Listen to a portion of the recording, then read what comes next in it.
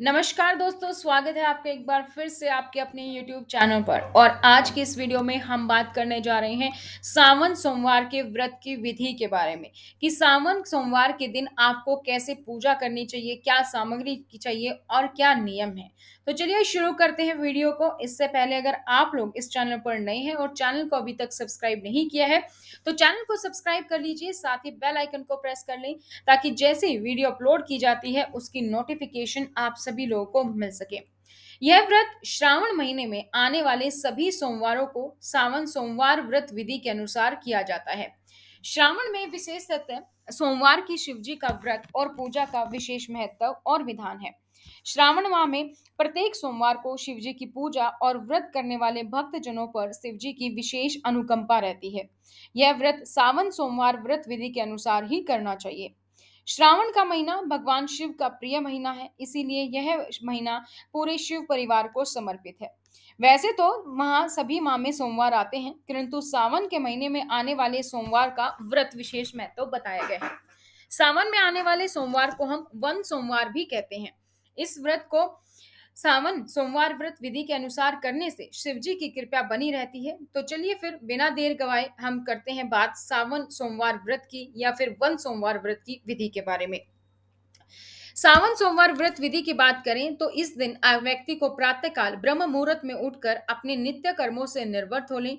ब्रह्म मुहूर्त का समय इसलिए बताया गया है क्योंकि यह समय देवी कार्य और पूजा पाठ करने के लिए अति उत्तम माना गया है। आप ब्रह्म मुहूर्त नहीं तो सुबह सूरज उगने से पहले उठने की कोशिश करें। स्नानादि से निर्वृत होने के पश्चात शिव जी के जलाभिषेक के लिए तांबे का पात्र या कोई भी पात्र जो उपलब्ध हो, अच्छी तरीके से साफ़ कर लें और उसे गंगा जल या साधारण जल लें। शिव जी को अर्पित करने के लिए बेलपत्र, पुष्प और यदि उपलब्ध हो तो धतूरे के फूल व आग के फूल भी लें। सावन सोमवार व्रत विधि के अनुसार सर्वप्रथम शिव जी को जल से स्नान कराएँ। उसके बाद दूध, दही, शहद, घी, हल्दी, शक्कर से अभिषेक करके पुनः जल से स्नान कराएँ। फिर शिवजी को जनेऊ धारण कराकर चंदन रोली आदि से तिलक लगाएँ। फिर अक्षत चढ़ाएँ। श्रावण के महीने में शिवजी को बेलपत्र, धतूरे के पुष्प, भाँग आदि अर्पित करने का विशेष महत्व है। तत्पश्चात अगरबत्ती, धूप, दीपक और दक्षिणा द्वारा भगवान शिव की पूर्ण श्रद्धा से पूजा करनी चाहिए। अंत में कपूर और जल कलश की थाली में रखकर आरती करनी चाहिए। साथ ही विभिन्न मंत्रों या स्रोतों से जप करने से भगवान शिव को प्रसन्न करने का प्रयत्न करना चाहिए। सावन सोमवार व्रत तथा सुनकर व्रत पूर्ण करना चाहिए। यह थी सावन सोमवार व्रत विधि। हम आशा करते हैं कि आपको सावन सोमवार व्रत की जानकारी पसंद आई होगी। अब बात करते हैं व्रत के नियम की। तो इस व्रत को करने से व्यक्ति को सावन सोमवार व्रत के नियम का पालन करना चाहिए। व्रत के तीसरे पहर, यानी कि शाम तक व्रत रखा जाता है, तब तक आप व्रत करने वाले को निराहार ही रहना चाहिए। व्रत के दिन व्यक्ति को स्वच्छता का ध्यान रखना चाहिए। इस दिन मांस, मदिरा और तामसिक भोजन के सेवन से बचना चाहिए। केवल सात्विक भोजन को ही अपनाना चाहिए। सावन सोमवार व्रत के दिन अनैतिक कार्य करने से बचे। नकारात्मक विचारों को मन में ना लाएँ।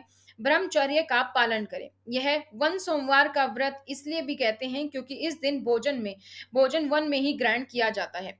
तो हो सके तो आप घर पर भोजन ना करके बाहर भी कर सकते हैं। सावन के महीने में हरी पत्तेदार सब्जियों का त्याग किया जाता है, अतः इसका सेवन ना करें। और इसका वैज्ञानिक कारण यह है कि सावन के महीने में बारिश का मौसम होता है, इसलिए हरी सब्जियों में कीड़े लग जाते हैं, जो हमारे स्वास्थ्य को खराब कर सकते हैं। सावन के महीने में हरियाली का मौसम रहता है और हरियाली शिव जी को अत्यंत प्रिय है। इसलिए पेड़ पौधों को काटने से बचें, प्रकृति को नुकसान ना पहुँचाए। सावन सोमवार व्रत के दिन बैंगन खाने से बचे, क्योंकि बैंगन को शास्त्रों में अशुद्ध बताया गया है। तो ये थे दोस्तों व्रत की विधि और कुछ नियमों के बारे में जानकारी। इसी तरीके की और जानकारी पाने के लिए आप हमारे चैनल को सब्सक्राइब करें। इस वीडियो को अपने दोस्तों के साथ शेयर करना ना भूलें। जय महाकाल।